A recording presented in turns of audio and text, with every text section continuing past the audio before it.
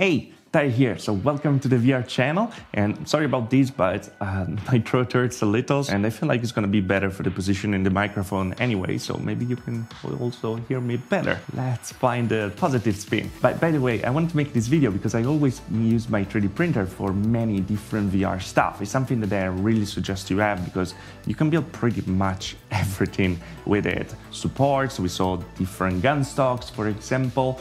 Uh, everything just works very well because when something something is not really perfect. In reality, when you are in virtual reality and you have something similar enough to what you're trying to replicate, the immersion gets much, much better. And while browsing on Thingiverse, that is a big library for 3D printing, where you can find pretty much everything, I found this one over here. This is a kind of a replica of a paddle for ping pong or table tennis, and I was amazed by it. I'm really enjoying it playing like right now with this thing all the time. The weight is perfect, the distribution is very nice, and really feels like playing ping pong, table tennis for real uh, when you are in VR. So let's discover this together.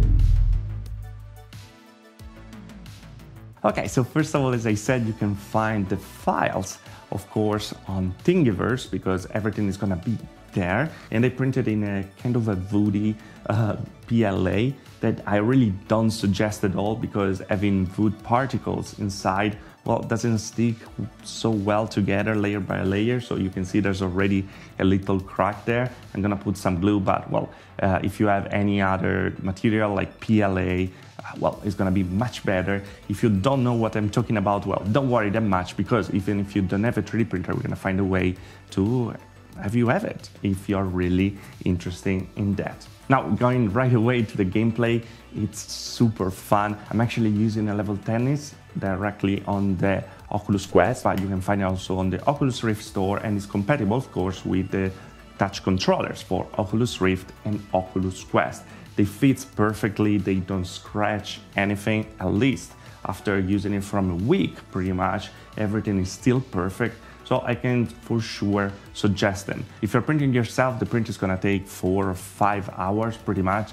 Recommended is an infill up to 20%.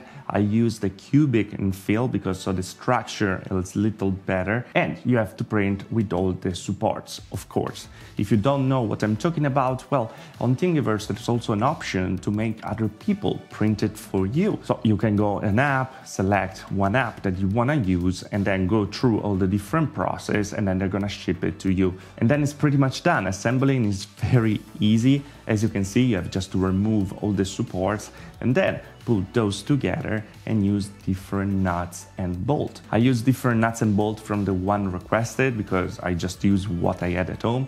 And for the little parts over here, uh, where actually closes it open, I use the usual nail and then I use two sticky pads to actually keep the nail in there. So you can open it and close it without any problem.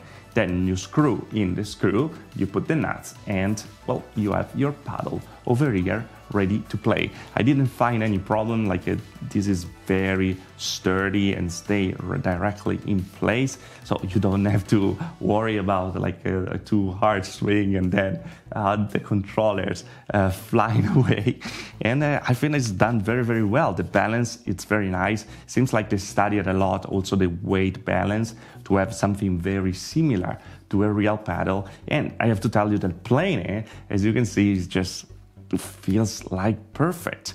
What you have to do though is to go, for example, in 11 tennis, if you're playing with the Quest in the settings and then change the orientation, of course, of the controller because in a normal way would be oriented like the controller if you're holding it. So these are the numbers that you have to use. These is the options that I found to work better for me. You have just to keep pressing the grip button and then put it in that position, try to match those numbers. But if you find better numbers, just let me know and share it in the comment below so we can have the perfect, perfect position there.